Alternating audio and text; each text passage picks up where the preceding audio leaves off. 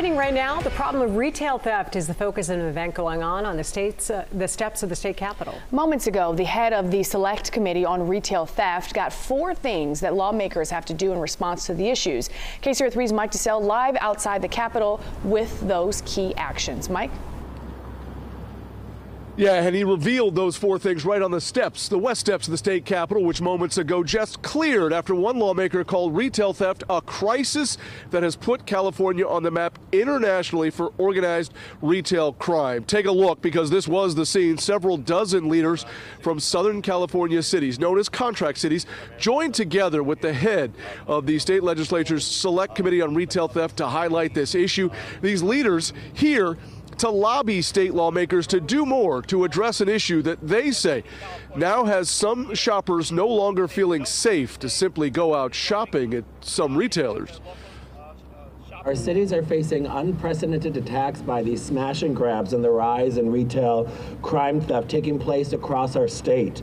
Public safety in our communities is of utmost importance to so many of us, and we want our residents to feel safe in every aspect of their daily life.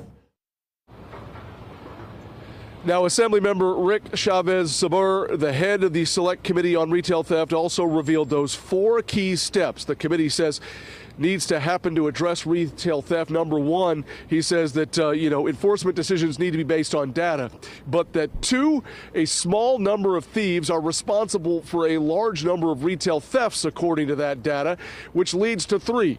Laws need to be strengthened for retail uh, uh, repeat offenders of retail theft, and then number four, uh, that distribution channels for stolen goods needs to be shut down. Now, again, back out here live at State Capitol, this was largely a group of Southern California city leaders here to lobby state lawmakers for greater action on retail theft. But to be very clear, this is not just an issue in Southern California or the Bay Area. Sacramento County Sheriff uh, Jim Cooper has made it very clear retail theft and organized retail theft an issue here in our region. And he too pushing for more action from state lawmakers on this issue of retail theft live at the state capitol. Mike TeSelle, KCRA 3 News. Yeah, that's right, Mike. Sheriff Cooper has been very vocal about that. The head of the Select Committee on Retail Theft has said he's hopeful that the state will be able to hold a joint hearing with the Public Safety Committee in Southern California in the coming months.